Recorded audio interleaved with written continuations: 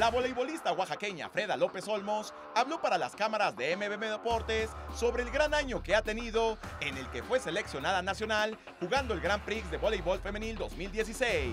He estado muy contenta, ha sido un buen año para mí en la forma deportiva y también en el aspecto personal.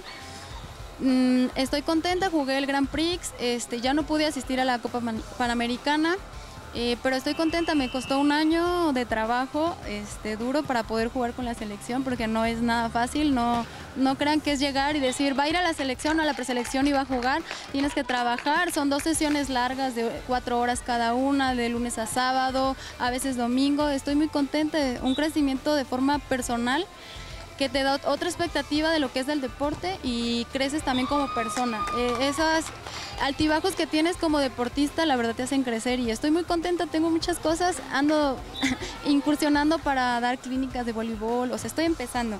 Eh, no he estudiado para eso, pero bueno, cada día trato de prepararme. En este año también ha sobresalido en el arbitraje. Sobre eso y lo que viene para ella, nos habla López Olmos. En el arbitraje también me ha ido muy bien.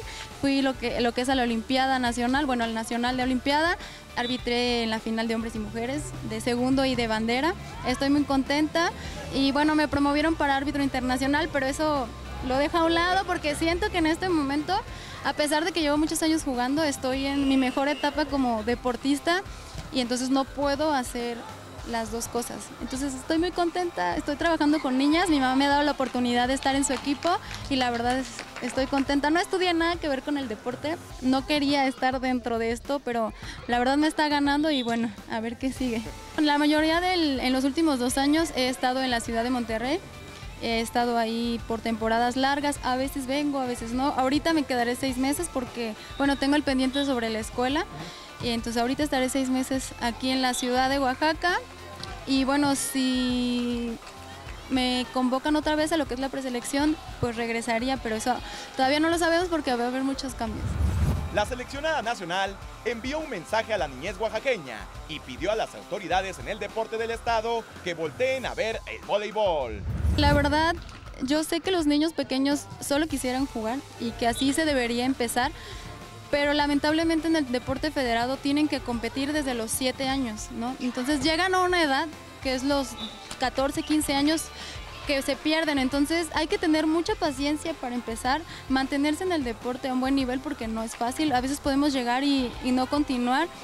Y que le echen muchas ganas, que lo disfruten sobre todo, que es un trabajo duro entre la escuela, los la vida social y este y el deporte, pero que se puede todo al mismo tiempo, simplemente es en esta disciplina, mucha fortaleza física y mental y apoyo de los papás y es bueno, es más, eso es todo.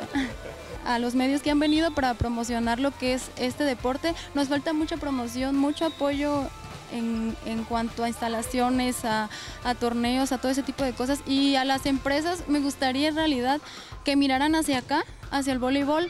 Hay buenos deportistas, hay buenos talentos, pero necesitan proyección y eso necesita apoyo. Entonces que pudieran acercarse o cuando algún voleibolista se acerca, que le brinden el apoyo que, que piden, cual sea, se les agradece.